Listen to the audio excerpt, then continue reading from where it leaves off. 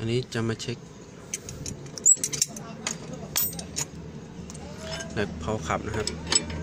ว่าหลวมไม่หลวมนะครับ จากมีเสียงดังก็แก๊กเวลาเบรก แล้วก็เวลาเลี้ยวนะครับ แล้วก็เช็คเพลาในนะครับ ด้านซ้ายมีประเก็นแตกนะครับ เอ้ย มีลูกยางหุ้มเพลาแตกนะครับ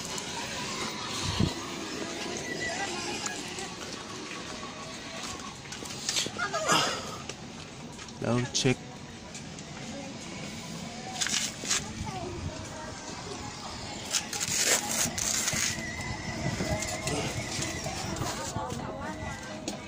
ขวาปกตินะครับ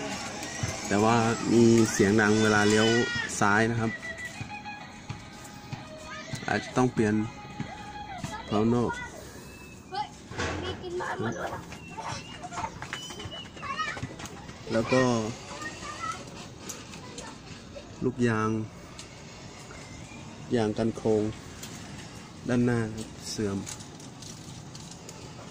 ลาเบรกมีเสียงแก๊กแก๊กเอียดเอียดนะครับ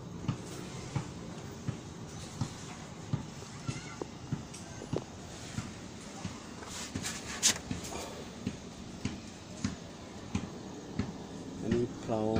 ด้าน ด้านซ้าย เพลาใน ยางหุ้มเพลาแตกครับ